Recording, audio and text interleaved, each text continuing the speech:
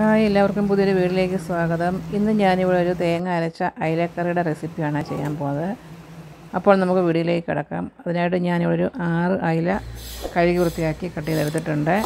അതിലേക്ക് ഞാനിപ്പോൾ ഇനി ഞാൻ ഇതിനൊരു അരപ്പ് തയ്യാറാക്കാനായിട്ട് മിക്സിയുടെ ജാറിലേക്ക് ഒരു കപ്പ് തേങ്ങ ചേർത്ത് കൊടുത്തിട്ടുണ്ട്. അര ടീസ്പൂൺ മഞ്ഞൾപ്പൊടി ചേർത്ത് കൊടുത്തിട്ടുണ്ട്. മൂന്ന് ടീസ്പൂൺ മുളക് പൊടി ചേർത്ത് കൊടുത്തിട്ടുണ്ട്. രണ്ട് ടീസ്പൂൺ കാശ്മീരി ചില്ലിയും ഒരു ടീസ്പൂൺ എരിവെള്ളം മുളക് പൊടിയുമാണ് ചേർത്ത് കൊടുത്തിരിക്കുന്നത്. ഇതിലേക്ക് കുറച്ച് വെള്ളം കൂടെ ചേർത്തിട്ട് നന്നായിട്ട് നമുക്കിതൊന്ന് അരച്ചെടുക്കാം. ഇപ്പോൾ നന്നായിട്ട് ഞാൻ അരച്ചെടുത്തിട്ടുണ്ട്. ഇനി നമുക്കൊരു ചട്ടി വെച്ചതിന് ശേഷം അതിലേക്ക് ഒരു മൂന്ന് ടേബിൾ സ്പൂണോളം വെളിച്ചെണ്ണ ചേർത്ത് കൊടുക്കാം.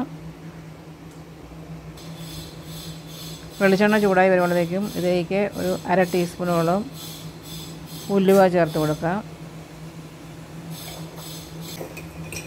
ഉലുവ എന്ന് പൊട്ടി വരുമ്പോഴേക്കും ഇതിലേക്ക് അര ടീസ്പൂണോളം കടുക് കൂടെ ചേർത്ത് കൊടുക്കാം.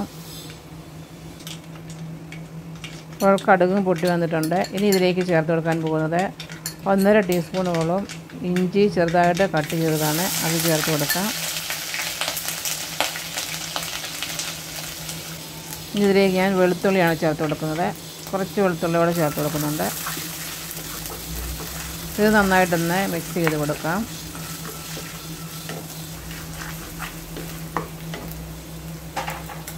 നന്നായിട്ടത് മിക്സ് ചെയ്ത് കൊടുത്ത് കൊടുത്തതിന് ശേഷം ഇതിലേക്ക് കുറച്ച് പച്ചമുളക് ചേർത്ത് കൊടുക്കാം. ഒരു അഞ്ച് പച്ചമുളകോളം ചേർത്ത് കൊടുത്തിട്ടുണ്ട്. കുറച്ച് കറിവേപ്പിലയും ചേർത്ത് കൊടുത്തിട്ടുണ്ട്. വീണ്ടും ഇത് നന്നായിട്ടൊന്ന് ഇളക്കി കൊടുക്കാം. അതിന് ശേഷം നമ്മളിതിലേക്ക് ചേർത്ത് കൊടുക്കാൻ പോകുന്നത് അര അരച്ച് വെച്ചിരിക്കുന്ന നമ്മുടെ തേങ്ങയുടെ കൂട്ടാണ് അത് നമുക്കിതിലേക്ക് ചേർത്ത് കൊടുക്കാം. ചേർത്ത് കൊടുത്ത് ഒന്ന് ഇളക്കിയതിന് ശേഷം നമ്മൾ അതിലേക്ക് കുറച്ച് വെള്ളം കൂടെ ചേർത്ത് കൊടുക്കുകയാണ്. ആ മിക്സിയുടെ തന്നെ കുറച്ച് വെള്ളം ഒഴിച്ചതിന് ശേഷം അതിലേക്ക് ചേർത്ത് കൊടുത്ത് നന്നായിട്ടൊന്ന് ഇളക്കി കൊടുക്കാം. ഇനി ഇതിലേക്ക് നമുക്ക് ആവശ്യത്തിനുള്ള ഉപ്പ് ചേർത്ത് കൊടുക്കാം. ഒരു കുറച്ച് പുളി കഴുകി വെച്ചിട്ടുണ്ടായിരുന്നു. അതുകൂടെ ചേർത്ത് കൊടുത്തു. ഇനി ഇത് നന്നായിട്ടൊന്ന് മിക്സ് ചെയ്ത് കൊടുക്കാം. അതിന് ശേഷം നമ്മളിതിലേക്ക് ഉപ്പ് കുറച്ചുകൂടി ഇട്ട് കൊടുത്തിട്ടുണ്ട്. ഇനി നമ്മളിതിലേക്ക് ചേർത്ത് കൊടുക്കാൻ പോകുന്നത് നമ്മൾ കഴുകി വൃത്തിയാക്കി വെച്ചിരിക്കുന്ന അയിലയുടെ കഷ്ണങ്ങളെല്ലാം നമുക്കിതിലേക്ക് ചേർത്ത് കൊടുക്കാം.